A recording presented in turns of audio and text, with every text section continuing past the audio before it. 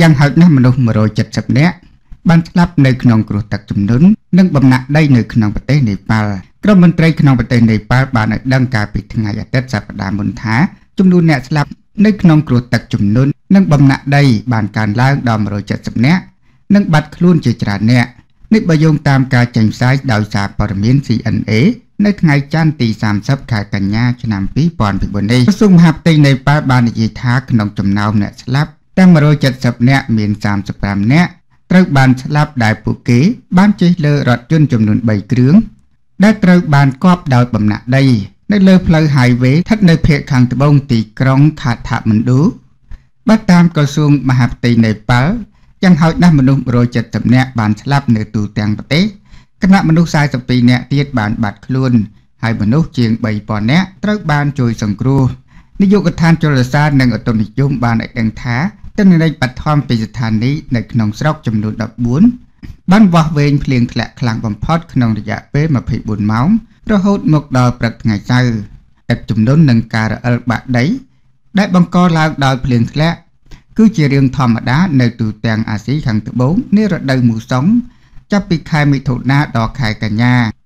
ប៉ុន្តែអ្នកជំនាញបាននិយាយថាការប្រែប្រួលអាកាសធាតុនឹងកើនឡើងកាន់តែញឹកញាប់ និងធ្ងន់ធ្ងរជាងមុន បាទប្រិមិត្តនេះគឺតកតើងនឹងគ្រោះធម្មជាតិទឹកជំនន់ហើយនឹងបាក់ដី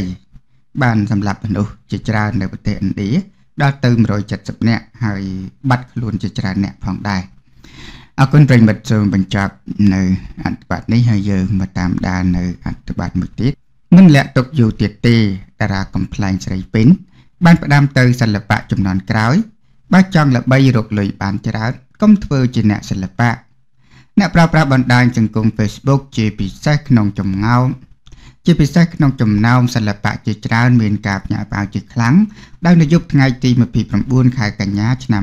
2024កន្លងទៅនេះតារាកំ pl ែងឈ្មោះថាសាយសៀងរ៉ាបានទម្លាយចំណាយពេលវេលាថវិកានិងកម្លាំងកាយចិត្តថត់កុនរាប់ឆ្នាំ តែពិបាកបើកលុយលោកសាយសៀងរ៉ាបានបង្ហោះសារផ្ដាំដល់សិល្បករថ្មីថ្មីចំនួនក្រោយ ពេលចោះកងត្រាថត់កុនណាមួយគូធ្វើកិច្ចសន្យាច្បាស់លាស់ជៀសវាងមានបញ្ហារឿងពិបាកទាលុយលោកបានលើកឡើងថា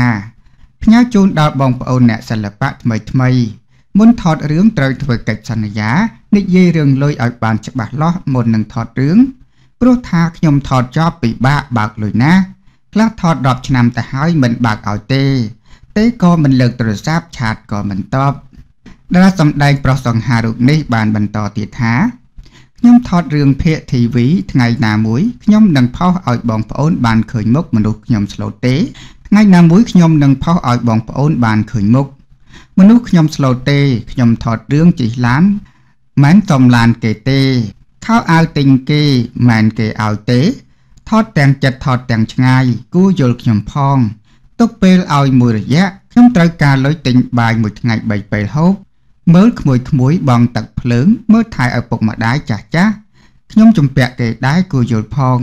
ចង់ឲ្យអ្នកសិល្បៈយើងទាំងតួថ្មីនិងតួចាស់បានមានរឿងត្រូវងើបឡើងកុំលាក់កុំខ្លាចខ្មាស់គេ ត្រូវផុសឲ្យគេដឹងព្រោះខំថតណាស់ក្រោយបានឃើញការបង្ហោះរបស់តារាសម្ដែងប្រុសលោកសាយសៀងរ៉ាទម្លាយរឿងរ៉ាវខាងលើនេះភ្លាមធ្វើឲ្យមហាជនអ្នកគ្រប់គ្រងក៏ដូចជាអ្នកសិល្បៈមួយចំនួនបានបង្ហាញការភ្ញាក់ផ្អើល និងចូលទៅបញ្ចេញមតិរៀងៗខ្លួន ក្នុងនោះដែរគេបានឃើញតារាកំ pl ែងស្រីពីនបានចែករំលែកជាមួយនឹងការបញ្ចេញមតិក្នុងនាមជាអ្នកសិល្បៈមួយរូបដែលបានលើកឡើងពីមនុស្សមួយចំនួនមិនសូវឲ្យតម្លៃដល់អ្នកសិល្បៈនិងមើលស្រាលចំពោះការប្រឹងប្រែងរបស់អ្នកសិល្បៈផងដែរតារាកំ pl ែងស្រីពីនបានចែករំលែកបន្តហើយបានទៅសេរៀបរាប់ថាអញ្ចឹងបានថាសង្គមនេះមានរឿងអយុត្តិធម៌ច្រើនណាស់ បងបងសិល្បៈខ្លះប្រឹងណាស់ថែរក្សាភាពថ្លៃថ្នូរណាស់ឈ្មោះជាសិល្បៈធ្វើអីបន្តិចជ័យជន់ប្អូនបងចំនួនក្រោយបើស្រឡាញ់លុយចង់បានភាពល្បីរកលុយបានច្រើនរកលុយបានច្រើនតែលេង TikTok ទៅកុំចង់ធ្វើជាតារាអីនោះគ្មានន័យទេសម្រាប់អនាគតមនុស្សមួយចំនួនគេឲ្យតម្លៃទៅលើ view ពេលខ្លះគេមិនឲ្យតម្លៃទៅលើសមត្ថភាពទេ ជួយថតប្រឹងហាត់ថ្ងៃហាលក្តៅលុយបានតិចហត់នឿយខំតិចគេមើងងាយគេជេរមានភាពឈឺចាប់ច្រើនដែលមិននិយាយសំទោសបើនាងខ្ញុំពីយ៉ាពីងនិយាយទៅត្រង់ពេកនេះជារឿងប៉ັດនៅក្នុងសង្គមសិល្បៈសពថ្ងៃបេះប្រិមិត្តនេះគេតាក់ទងទាំងតារាសម្ដែងប្រុសលោកសៀងរ៉ាដែលយើងស្គាល់ថាជាតារាសម្ដែងល្បីឈ្មោះរូបផងដែរដូចមួយនេះស្រាប់តែបង្ហើបទម្លាយថា ពិបាកក្នុងការទេលុយមុននឹងថតមុននឹងធ្វើសកម្មភាពអីបាទត្រូវតែមានកិច្ចសន្យាច្បាស់លាស់បញ្ហាលុយកាក់ជិះវៀងថតហើយអត់បានលុយក្នុងនោះដែរគេឃើញតារាកំ pl ែងស្រីពិនក៏បានសារចែករំលែកបង្ហាញពីទុកកង្វល់របស់ខ្លួនអរគុណប្រិមិត្តចូលបញ្ចប់នៅអត្ថបទទាំងពីរនេះជួបប្រិមិត្តអ្នកស្ដាប់ជាទីមេត្រីបាទសូមស្វាគមន៍មកកាន់ Channel ខ្មែរ New Daily ទៅហើយបាទជំលើកនៅអត្ថបទដកស្រង់ខ្លីៗមួយចំនួនមកជម្រាបជូនដល់ប្រិមិត្តអ្នកស្ដាប់ដែលអត្ថបទទី1រន្ធត់ណាស់ឆេះរថយន្តដឹកសិស្សសាលា និងគ្រូបង្រៀនសរុប45នាក់នៅប្រទេសថៃក្នុងនោះមាន25នាក់ទំនងជាបាត់បង់ជីវិតបាទប្រិមិត្តនេះគេតេតទៅនឹងហេតុការណ៍ដ៏គួរឲ្យរន្ធត់ដែលរថយន្តក្រុងបាទຂະຫນាត់ធំណាដឹកសិស្សានុសិស្ស ព្រមទាំងលោកគ្រូអ្នកគ្រូបាទសរុប44នាក់បែរជារោងការឆាប់ឆេះបាទរត់ឆោតតន់បណ្ដាលឲ្យរោងរបួសបាទឥឡូវនេះរោងរបួសធ្ងន់ធ្ងរទំនងជាអាចស្លាប់ដល់ទៅ25នាក់នោះបាទច្រើនមែនតើបើចឹងប្រិមិត្តយើងមកតាមដានលម្អិតដូចតទៅមន្ត្រីរដ្ឋាភិបាលថៃបានឲ្យដឹងថាមនុស្សប្រហែល25នាក់ទំនងជាបានបាត់បង់ជីវិតនៅថ្ងៃអង្គារនេះ នៅពេលដែលរថយន្តដឹកសិស្សសាលានិងគ្រូបង្រៀនមួយគ្រឿង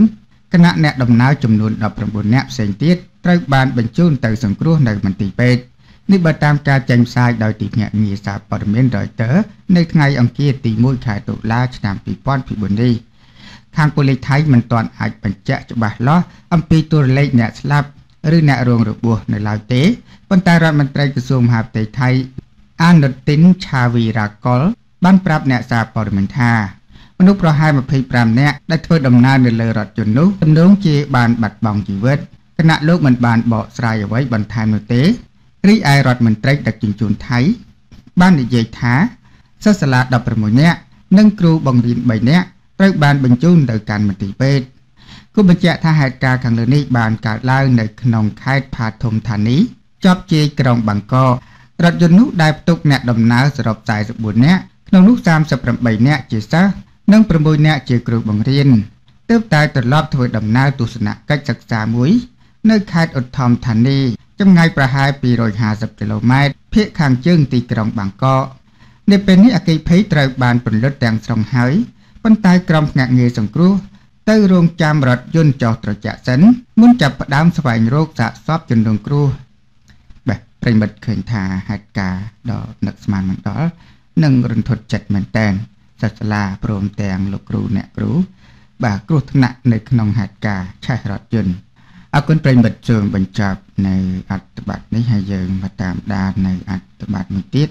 សូមបង្កើនការប្រុងប្រយ័ត្នអកិច្ចភ័យលេបត្របាក់រោងចក្រ MR Good អស់ទាំងស្រុងនៅខណ្ឌកំពូលនំពេញរោងចក្រផ្លិតពូកនិងខ្នៅយឺហៅ MR Good ត្រូវបានអគិភ័យលេបត្របាក់អស់ទាំងស្រុងបង្កមានការភ្ញាក់ផ្អើល កាលពីវេលាម៉ោង9:20នាទីព្រឹក នៅថ្ងៃទី30ខែកញ្ញាឆ្នាំ2024ស្ថិតនៅចំណុចក្បាលដីលេខ202ផ្លូវបេតុងភូមិកំបូលសង្កាត់កំបូលខណ្ឌកំបូលលោកវរៈស្នេហ៍ឯកព្រំយត់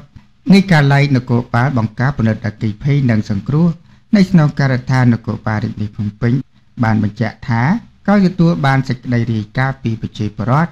លោកបានបញ្ជាដល់កម្លាំងផលិតអគិភ័យដែលប្រចាំការនៅគ្រប់បណ្ដាគោលដៅទាំងអស់ឲ្យចេញជួយអន្តរាគមន៍បាញ់ពន្លត់ឲ្យតាន់ពេលវេលាកុំឲ្យមានការឆាបឆេះបន្តដល់ផ្ទះប្រជាពលរដ្ឋដែលនៅក្បែរនោះ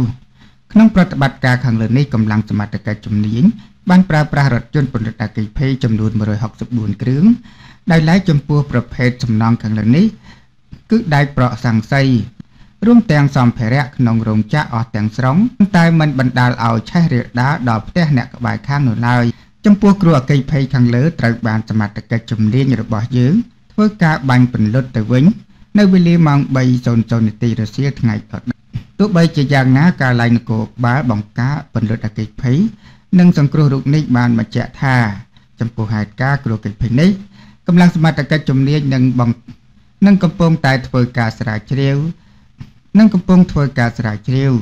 ដើម្បីបញ្ជាក់ពីមូលហេតុនៃការឆាបឆេះខាងលើដោយឡែកនៅក្នុងហេតុការណ៍គ្រោះកិច្ចភ័យនេះមិនបណ្ដាលឲ្យនរណាម្នាក់រងគ្រោះក្នុងគ្រោះអគ្គិភ័យខាងលើនេះឡើយបាទប្រិមិត្តឃើញថាគ្រោះកិច្ចភ័យបានឆាបឆេះរោងចក្រផលិតពូកបាទគួរឲ្យសោកស្ដាយឆើស្ទើរតែទាំងស្រុងទៅហើយអរគុណប្រិមិត្តសូមបញ្ចប់នៅអត្ថបទទាំងពីរ